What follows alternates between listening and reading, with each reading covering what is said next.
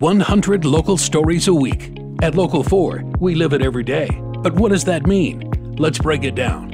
100. We're committed to covering at least 100 local stories per week from right here in central Nebraska. Local. Local stories from local people with a local perspective. Stories. We look for the stories that impact us, that matter to us, that affect us where we live. Grand Island, Hastings, and Kearney. 100 local stories a week.